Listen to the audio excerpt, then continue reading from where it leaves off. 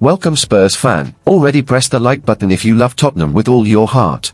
As the summer transfer window approaches, Tottenham Hotspur finds itself at a crossroads regarding the future of loan signing Timo Werner. The German forward, who joined from RB Leipzig in January, could see his tenure cut short if Spurs opt to pursue Athletic Club's winger Nico Williams for a reported fee of £42.8 million.